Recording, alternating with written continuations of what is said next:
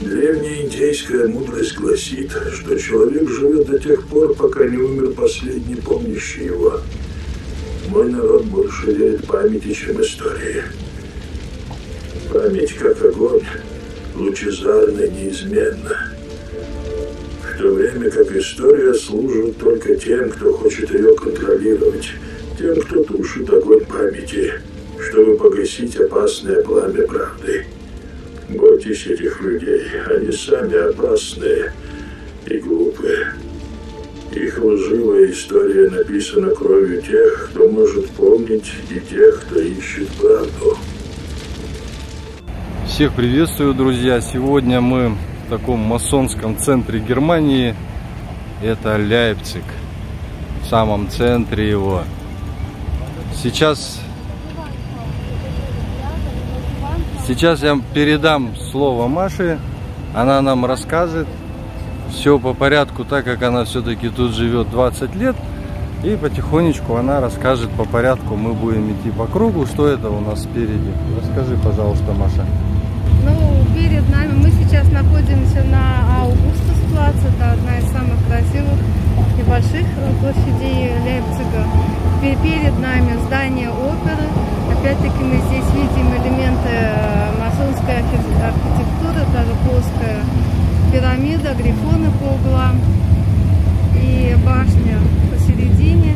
Слева мы видим э, башня Кроха, опять-таки с масонской символикой наверху, колокол и два якобы работника. Дальше здесь у нас э, современное здание университета, которое построено на месте старинной церкви. И оно таки, мы зайдем внутрь и покажем вам его изнутри еще.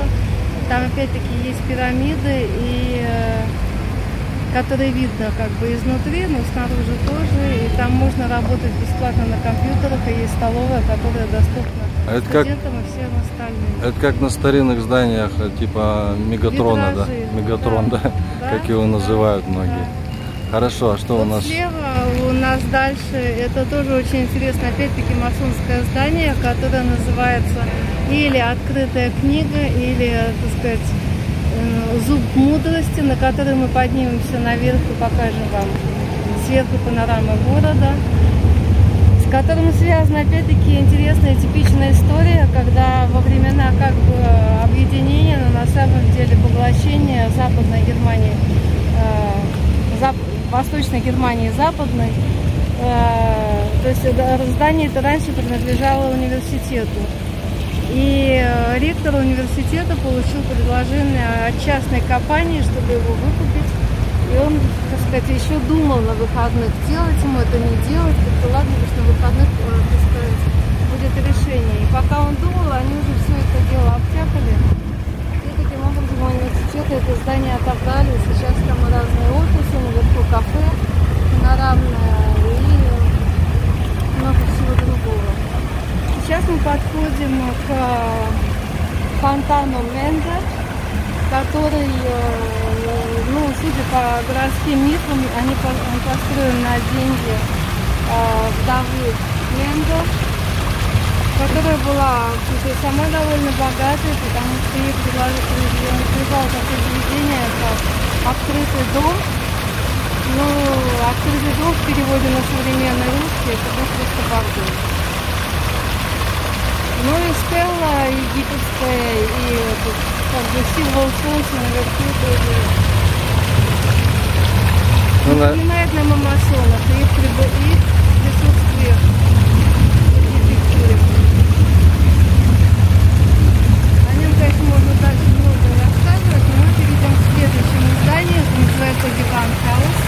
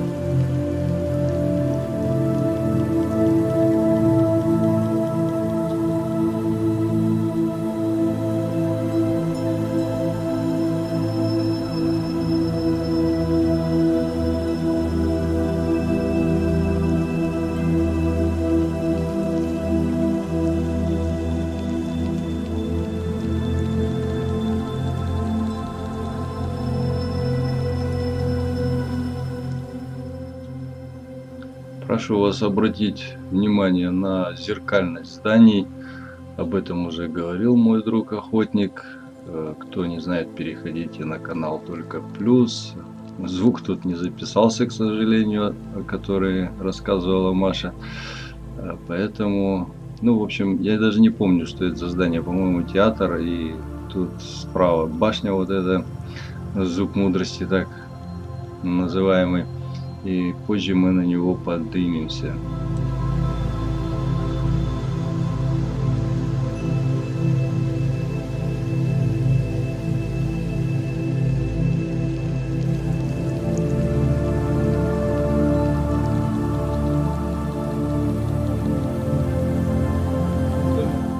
Тут какие-то остатки, вон виднеются стены. А, здесь ночной вход, ну, может быть, это...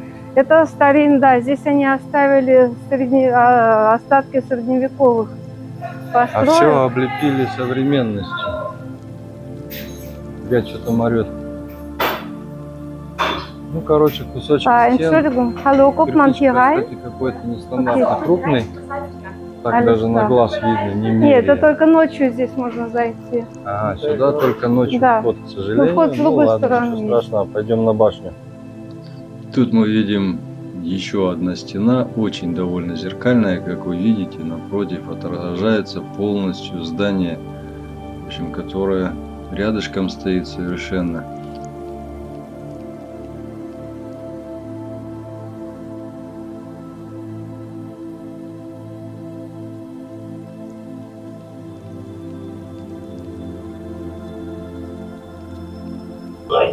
Сейчас мы на лифту поднимаемся на 29 этаж. Вот так вот, все так просто. Но впереди мы видим церковь Святого Петра, в которой опять-таки сейчас проходят и музыкальные концерты, и э, концерты, концерты мантр, на котором мы недавно были. И он опять-таки тоже полон масонской символики, если подойти ближе. как пленкой как будто натянута. Но, честно говоря, мне надо... Я думаю, что там сейчас газометр, и там тоже проводятся экс- всякие выставки. Да. Там была выставка, причем ты заходишь внутрь, и выставка такая панорамная. А, То есть была там выставка, посвященная Титанику. Словно ты а вообще вот, на- над на- на море. Напротив, напротив тоже купольный такой, да, это крыша купольная. Так я думала, ты это имеешь в виду. Не, вот это вот одно вот как вот здесь правее вот это вот, такое как будто пленкой накрыто. Да, да, да, да. А это вот левее купольная тоже.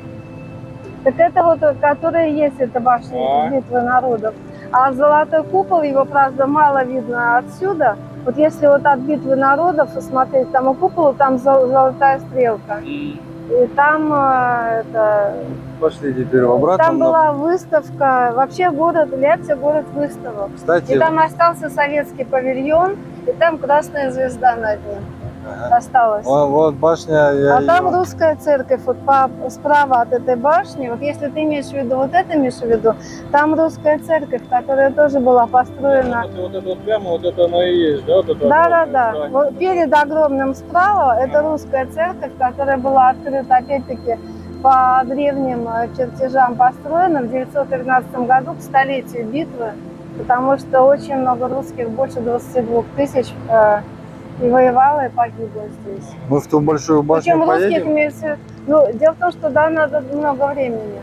Потому Почему? что, ну, потому что можно парковаться где-то за полтора километра, и пока ты ее пройдешь и войдешь, это надо отдельно делать. Просто я вам хотела все показать вот так. Полтора километра не так уж и далеко. так. Нет, недалеко, но дело в том, что я тебе говорю, она огромная. Звук у нас это не так за- вот. Звук у нас не, не записался. Сейчас попробуем еще раз. Вот это вот э, Действительно крематорий. как крематорий, потому что сверху, смотри, эти решетки. Да, да, да. Точно ужас какой. выглядит как крем- крематорий, да? да, а, это, охотнику понравится. а это ты говоришь церковь, да? Это католическая церковь, которая недавно вот построена и открыта, и якобы из э, экологического материала по экологическим канонам.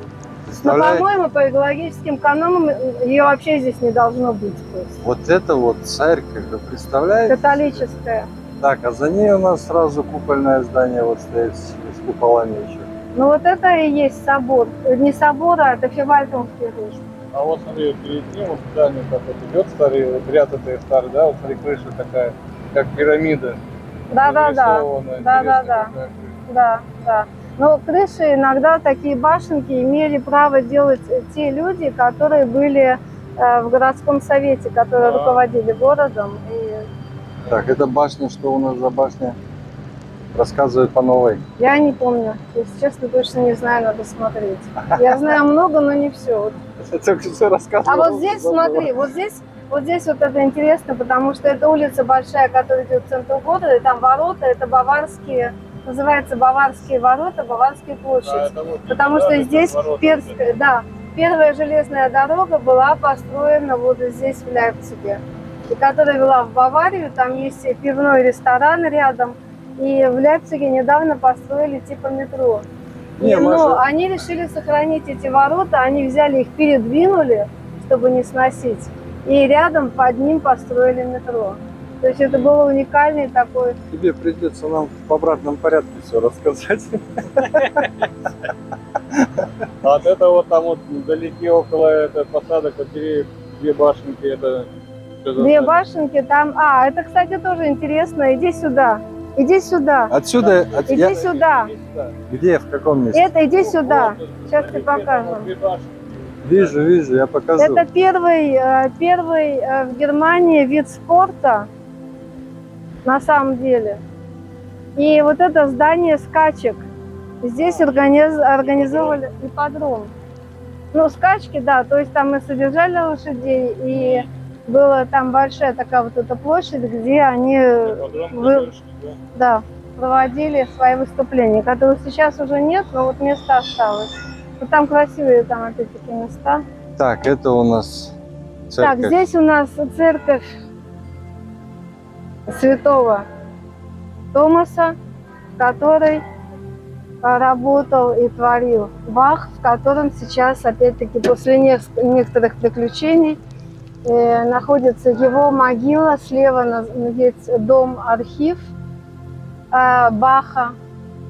И э, там недалеко находится такое кафе, может быть, мы вам покажем, Амарабишин кафебаум, котором э, Бах содержал прилавок, где продавали кофе, потому что при том, что он работал на каждый день, на жизнь ему не хватало, у него было много детей, и хотя 9 его из 16 его детей погибли он, сказать, в младенческом возрасте, но его вторую жену и семерых надо было кормить, и Баху еще приходилось продавать кофе.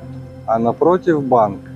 Напротив крутой- коммерческий банк. ну, Крутое да, здание, это Да, значит ну где бабки. деньги, там хорошие деньги, да. Так, а Опять-таки связано с э, торговлей, с Россией и так далее. там у нас купол выглядывает какая-то тоже Ну вот здесь у нас да? церковь Святого Николая, вот которая справа, А, справа, сейчас я ее покажу сначала. Ой, не туда. если поближе подойти. Церковь Святого Николая интересна тем, что это вообще первая церковь, и а, в ней находится а, оригинальная органа, на котором играл сам Бах. И она, опять-таки, свя- связана с историей масонства. В школу Николая ходил Рихард Вагнер, об этом э, там тоже сейчас рассказывается.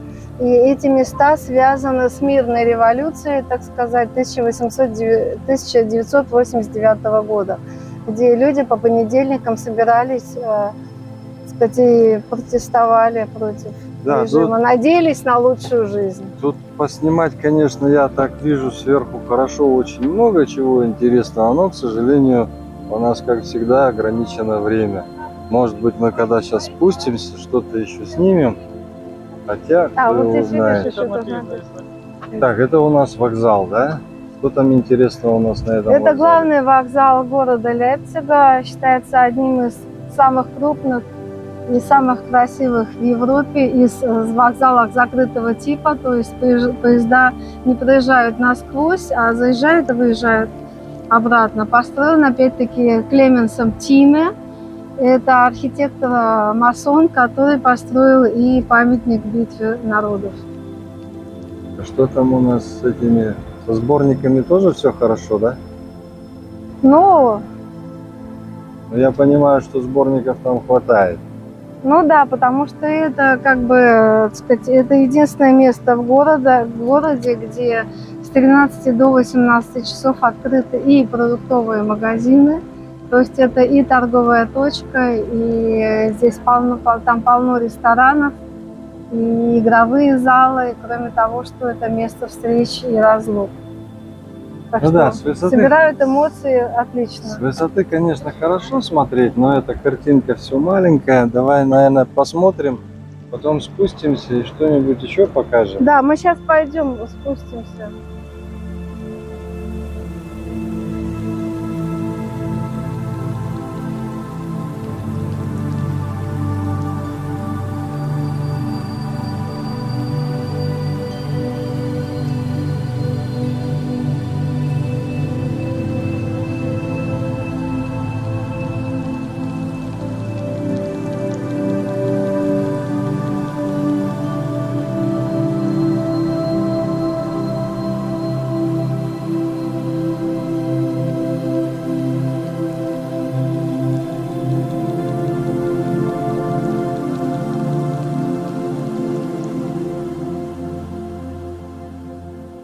Обратно с 29 этажа, а по сути тут еще есть 4 технических этажа, это вот 33 этажа. Вот такие вот пироги, ребята. Тут все прикольно.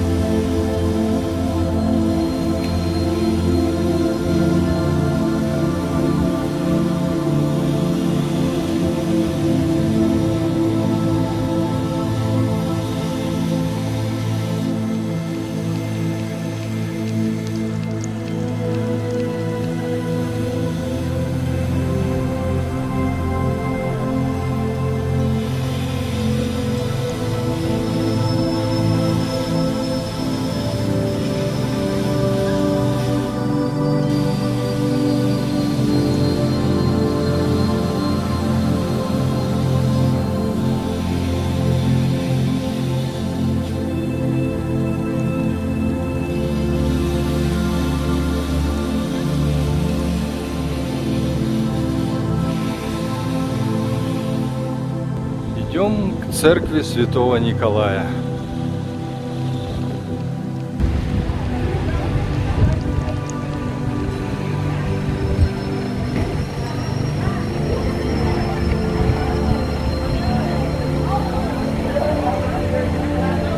Колонна мира, поскольку здесь были собрания мирной революции. За ним дальше Николай Шулер, который вам наручился.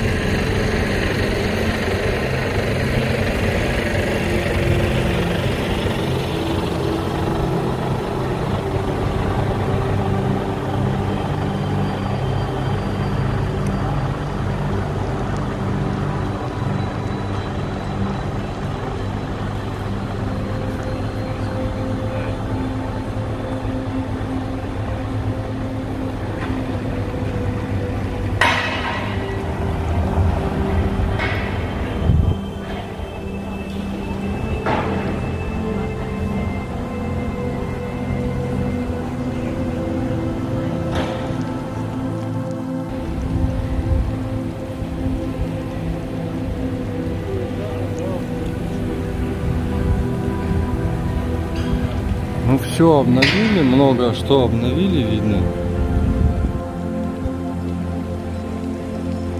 Но что-то сохранилось еще.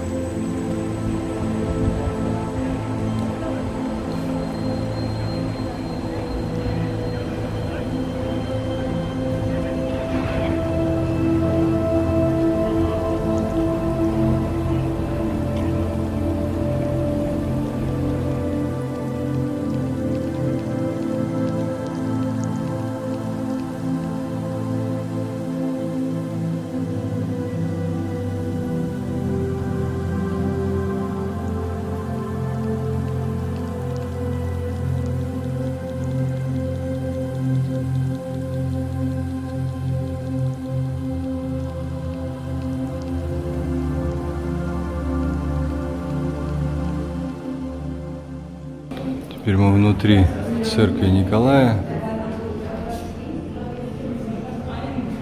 органом Баха. Сейчас он, само собой, не играет.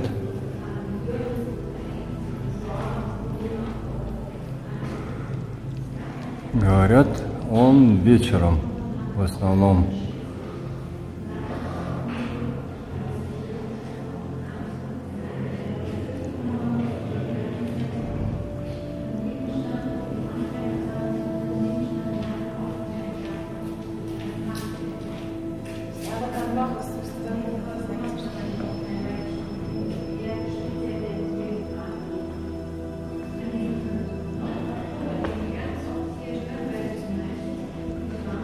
Колонны по обе стороны. Колонны, интересно, с чего вообще забеленные? Сейчас даже не поймешь. Если мы вперед пройдем, тогда мы сможем э, снять орган. Не, орган-то мы сможем, а колонны э, с какого А, материала вообще? Они забелили их? Да? Те- Теперь даже не вот поймешь. видишь, там видно. Справа, вот смотри. Да. Видно, как они сделаны, потом не. А, вот, туда отвалилось сейчас. А, ну там тоже заделано, по-моему. Сейчас мы заглянем немножко. Интересно.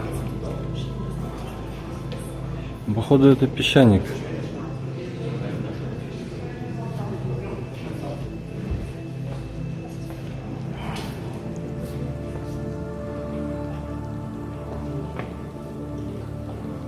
Но все в этих Ne? Э? Прибежал мужичок, говорит, не-не, видео нельзя, блин. Что у них вот с видео проблемы какие-то? Непонятно. Смотри, какие камни мощные.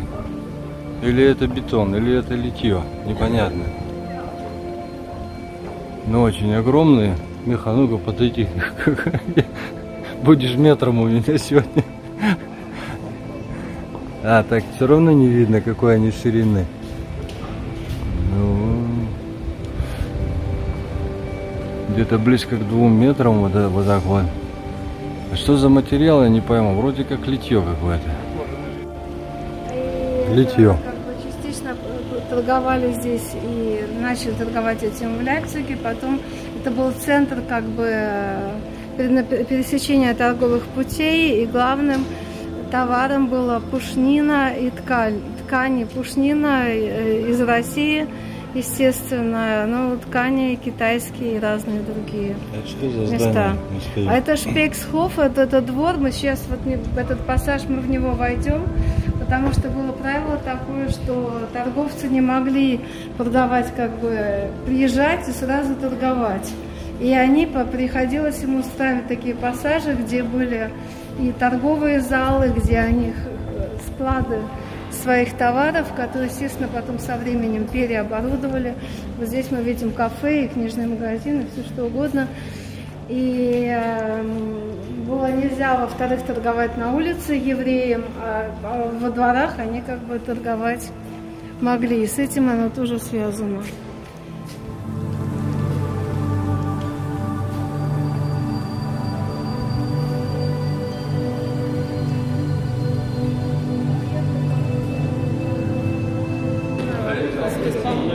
Часы.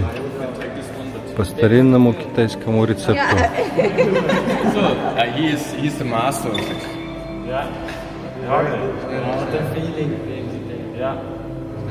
Yeah, Oh, not but he is. So he's really master. So normally, uh, I would say one of ten people can do it uh, in the first time. Why do you not want to? So soon you will be a YouTube star.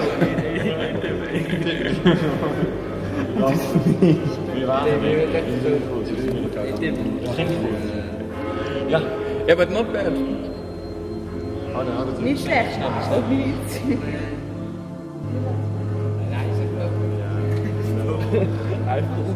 Maar eh, heb je het gezien, Floor, dat het water ook zo Okay. I would say we go. Hij weet, hij weet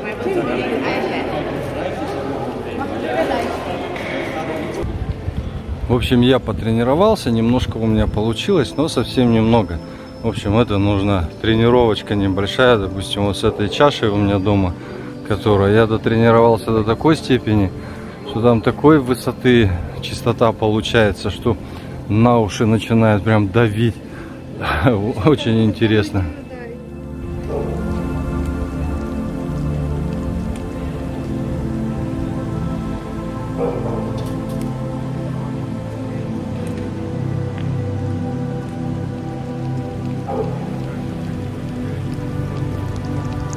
Здание, в принципе, как в Магдебурге, да? Похоже очень все. Все как...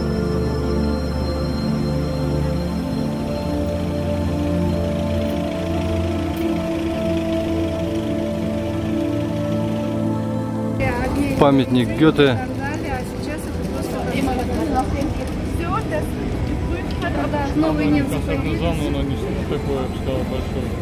Но оно, нет, оно действительно старинное еще 18 века. То есть тогда все здания такие. Символ Лейпцига.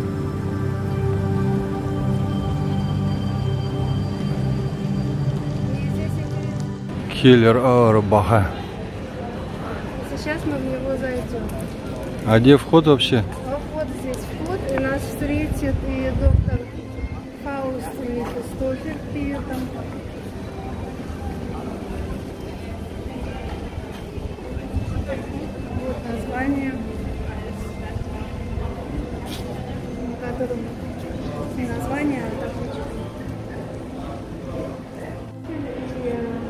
Мефистофель кто? Доктор Фауст. И доктор Фауст. И тут по краям у нас вход, а это три ребята, что за поножовщина у них.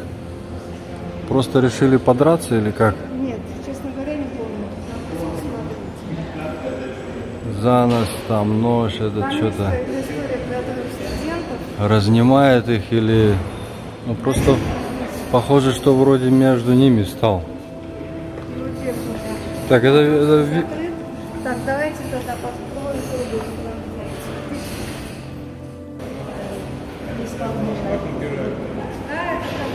Так, нам, похоже, не повезло.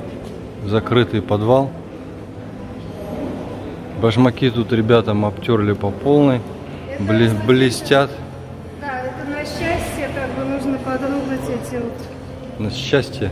Да, поэтому, поэтому они такие отполированы. В общем, Маша рассказывает, что воды не было, и вот э, были открытые источники. водопровода. Да. И вот так брали воду. Ну-ка, Миша, качни-ка. Может, побежит? Да качни. Ну на, подержи, я качну. Если ты такой ленивый. Видишь, ты какой сильный. Да, О, вода пошла. Ну, короче, это после катастрофы, может, так и было. Чего Нет, тут это вообще удивляться? Ну вот у нас Гёте поближе. И видно, что он смотрит, он с книгой в руке. Смотрит в сторону, а шагает в винный погреб. а ноги, да. Наверное, наверное, бухнуть любил мужик. Это много соблазнов. А здесь это что за- А что ж, Это здание старой биржи. старая биржа? Концертный зал. Сейчас. И символ э, земли Саксония наверху. Здесь э, синий и желтый. Как бы, ну, здесь золотой, но, в принципе, желтые цвета. Присущие этому гербу. И э, самым главным произведением Гёте считал свое изучение цвета, по которому синий цвет, он считается самым близким к темным силам, к черным и к темным силам, а желтый к светлым силам и к добру. Я поражаюсь. Как ты все это запоминаешь? 1678 года. Тысяча- 1678 год. Ну, опять, да, да, но У нас это. Официальная история.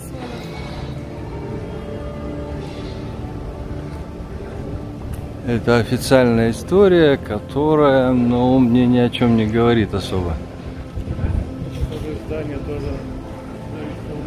Большая голова.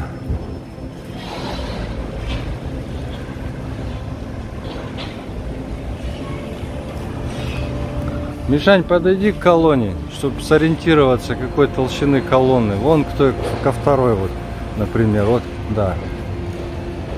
Потому что я вижу, что они такие толстенькие. Миша у нас тоже, да ближе подойди, что он, Миша у нас тоже не худенький. Знаете, знаете, вот я хожу, хожу, вот э, уже час мы тут ходим больше. И вижу, вот какой город не приедешь, примерно все одно и то же в Германии. Вот поэтому не очень-то хочется как бы посещать другие города. Единственное, чего я хочу, это точно я знаю. Это, ну, я когда-нибудь все равно туда съезжу. Это Кёльнский собор. А все остальные, они какие-то все однотипные. Куда вот не приезжаешь. У меня такое, у меня такое чувство, что я сейчас в каком-нибудь Кветленбурге или еще где-то наподобие что-то.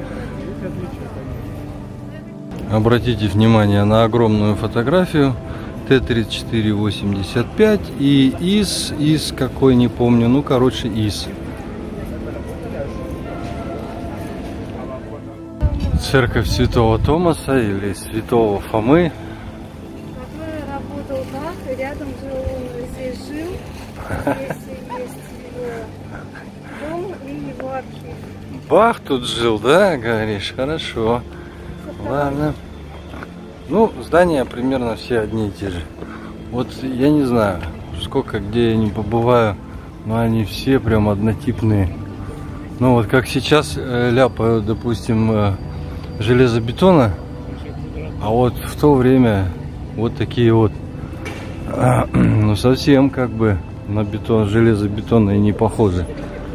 Очень значительно красивей, интересней и так далее.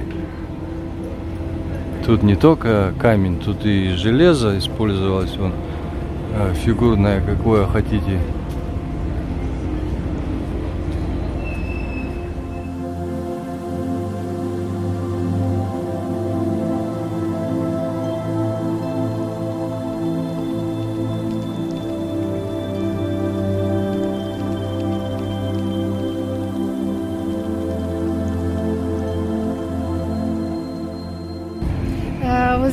Видим памятник Баху, который здесь жил и творил. И по высказыванию одного из его музыкантов-современников, э, есть музыканты, которые не верят в Бога, но все верят в Баха. Так, у кого, у кого есть идеи, зачем подкову за решетку засунуть? Ну, как бы подкова в правильном расположении, но зачем она за решеткой, вопрос. По, по феншую. Сейчас. Да, тут все по феншую. Явно тут энергетика. И вот таких вот каменных сооружений тут вот люди сидят, дети играют. Туда целая аллея в одну сторону. Затем она идет в другую сторону. А, ну вот заканчивается здесь уже. Возвращаемся потихонечку обратно. Парковочки и, наверное, стартанем. Ну, то, что тут сборников, конечно, много, и их показывать довольно сложно. Ладно, человек, предоставим это человеку все проделать тому, кто тут проживает и заинтересован.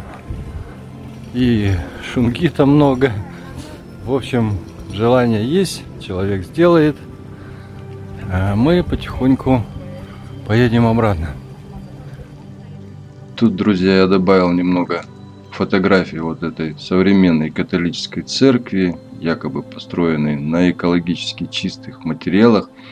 Я не знаю, друзья, я вот сверху показывал, а потом фотографии еще посмотрел. Эм, У меня, честно говоря, другие ассоциации, нежели эта церковь. Напишите свое мнение. Там дальше будут еще зарисовочки, а на этом я с вами прощаюсь. Всем удачи, счастья, здоровья. Пока.